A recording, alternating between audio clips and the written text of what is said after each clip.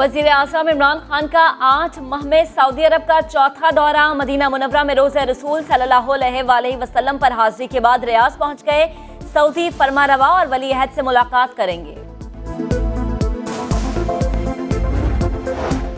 Army chief मुतहदा अरब अमारात पहुँच गए। वली अहद मोहम्मद बिन जैद अल नहियान से मुलाकात। इलाकाई सिक्योरिटी की सूरत हाल और दो तरफा दिलचस्पी के उमूर पर गुफ्तगू।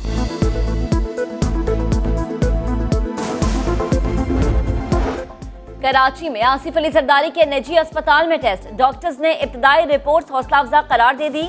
मजीद टेस्ट तजवीज़ कर दिए। आसिफ अली जरदारी आज रात अस्पताल में ही क्याम करेंगे। सईद गनी कहते हैं, आसिफ अली जरदारी का बैरून मुल्क जाने का कोई इरादा नहीं।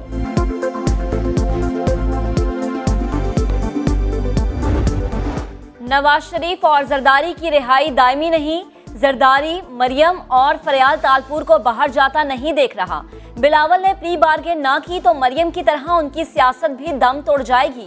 वज़ीर बराए रेलवे शेख रशीद कहते हैं, सियासी सुकून के लिए इलेक्शन कमीशन में कुछ दो कुछ लो से काम लेना होगा। वज़ीर अला पंजाब उस्मान बुजदार ने नौजवानों के लिए हुनरमंद प्रोग्राम का ऐलान कर दिया। डेढ़ अरब रुपए के मंसूबे से हज़ारों नौजवानों को तरबियत और कर्जे मिलेंगे। सूबे में चार टेक्निकल यूनिवर्सिटीज के क्याम का भी ऐलान।